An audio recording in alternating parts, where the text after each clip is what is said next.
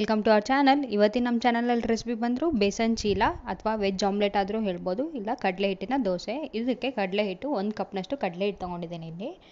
So ಈ ಕಡಲೆ ಹಿಟ್ಟಿಗೆ ಇವಾಗ ಏನು ಮಾಡ್ತಿದ್ದೀನಿ?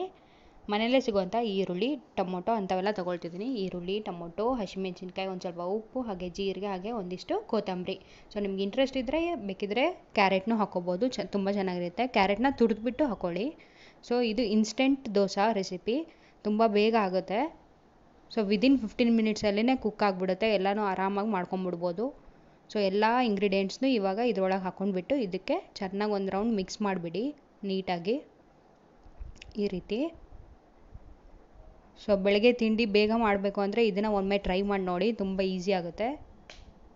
ಸೊ ಇದಕ್ಕೆ ಒಂದು ಕಪ್ನಷ್ಟು ನೀರು ಹಾಕ್ಕೊಳ್ತಾ ಇದ್ದೀನಿ. ಇಲ್ಲಿ ನಾನು ತ್ರೀ ಫೋರ್ತ್ ಕಪ್ನಷ್ಟು ನೀರು ಫಸ್ಟ್ ಹಾಕೊಳ್ತೀನಿ. ಕನ್ಸಿಸ್ಟೆನ್ಸಿ ನೋಡ್ಕೊಂಡ್ಬಿಟ್ಟು ಒಂದು ಕಪ್ ಫುಲ್ ನೀರು ಹಾಕ್ಕೊಳ್ಳಿ ನೀವೇನಾದರೂ ಪ್ಯಾನ್ ಕೇಕ್ ಅಥವಾ ಉತ್ತಪ್ಪ ಟೈಪ್ ಏನಾದರೂ ಮಾಡ್ಕೊಳ್ಳೋದಾದರೆ ಈ ಕನ್ಸಿಸ್ಟೆನ್ಸಿ ಸಾಕಾಗುತ್ತೆ. ಇಲ್ಲ ನಿಮಗೆ ದೋಸೆ ಟೈಪೇ ಬೇಕು ಅಂದರೆ ಇವಾಗ ನಾನು ಏನು ಮಾಡ್ತಿದ್ದೀನಿ ದೋಸೆ ಹಾಕ್ತಿರೋದ್ರಿಂದ ಇನ್ನೊಂದು ಸ್ವಲ್ಪ ನೀರು ಆ್ಯಡ್ ಮಾಡ್ಕೊಳ್ತಾ ಇದ್ದೀನಿ ನೋಡಿ ಈ ಕನ್ಸಿಸ್ಟಿ ಬೇಕಂದರೆ ಪ್ಯಾನ್ ಕೇಕ್ ಆಗುತ್ತೆ.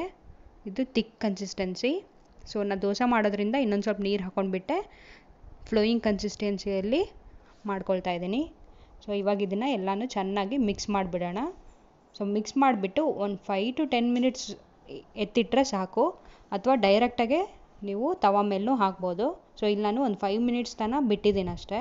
ಸೊ ನೋಡಿ, ಇವಾಗ ಇದನ್ನು ಬಿಸಿ ತವದ ಮೇಲೆ ಸ್ಪ್ರೆಡ್ ಮಾಡ್ತಾ ಇದ್ದೀನಿ ನೀಟಾಗಿ ಒಂದು ರೌಂಡ್ ಸ್ಪ್ರೆಡ್ ಮಾಡಿಬಿಡಿ, ಸಾಕು.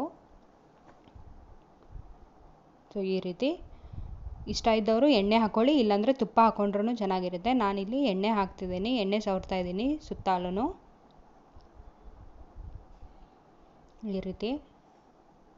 ಸೊ ಚೆನ್ನಾಗಿ ಕುಕ್ ಆಗಬೇಕು. ಲೋ ಫ್ಲೇಮಲ್ಲೇ ಕುಕ್ ಮಾಡಿ ಇದನ್ನು. ಒಂದು ಐದು ನಿಮಿಷದಲ್ಲೇ ರೆಡಿ ಆಗಿಬಿಡುತ್ತೆ ಇದು.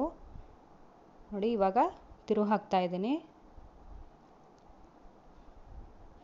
ಸೊ ನೋಡಿದ್ರೆ ಈ ರೀತಿ ಕಲರ್ ಚೇಂಜ್ ಆಗಬೇಕು. ಹಸಿ ಬಿಸಿ ಇದ್ದರೆ ಕಡಲೆ ಹಿಟ್ಟಲ್ವ? ಹಸಿ ಬಿಸಿಯಾಗಿ ಕುಕ್ ಮಾಡಬಾರ್ದು. ಎರಡು ಕಡೆಯೂ ಚೆನ್ನಾಗಿ ಕುಕ್ ಮಾಡಿ. ಸೊ ಬೀಸನ್ ಚೀಲ ಈಸ್ ರೆಡಿ ವಿಡಿಯೋ ಇಷ್ಟ ಆದರೆ ಲೈಕ್ ಮಾಡಿ ಶೇರ್ ಮಾಡಿ, ಹಾಗೆ ಸಬ್ಸ್ಕ್ರೈಬ್ ಮಾಡೋದನ್ನ ಮರಿಬೇಡಿ. Thank you.